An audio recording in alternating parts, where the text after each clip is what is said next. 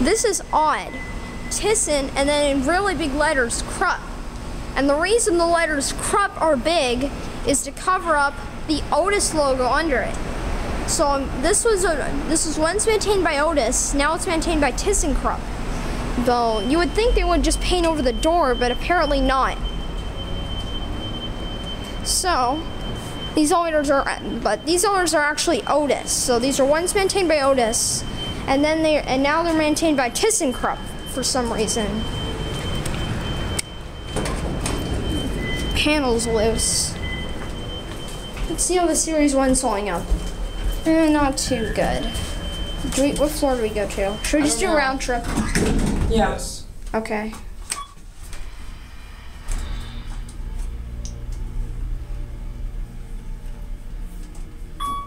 This garage is about the same age as that our garage. Might even be the same ownership. I don't know exactly.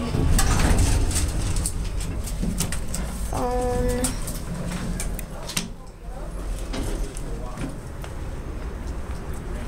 Alright. Let's get a view. What about that parking lot where there's some disabled spots? Is that- Yeah, that's closer. Let's do that. Let's go back. All right.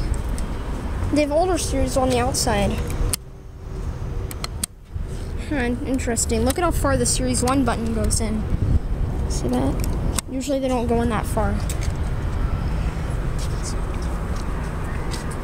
Honestly, I think Series 1 is not the best choice for a parking garage. Yeah. Really shows here. Fi- Fixtures are worn out.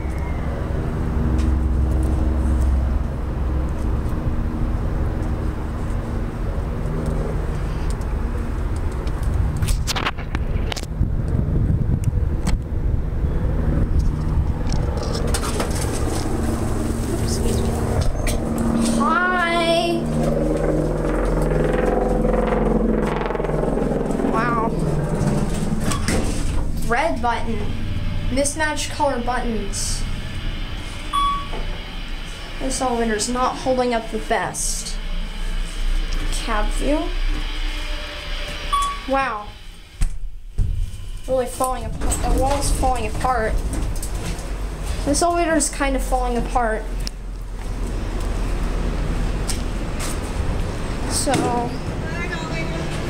I don't know if ThyssenKrupp might be to blame here. I'm not sure. That's it.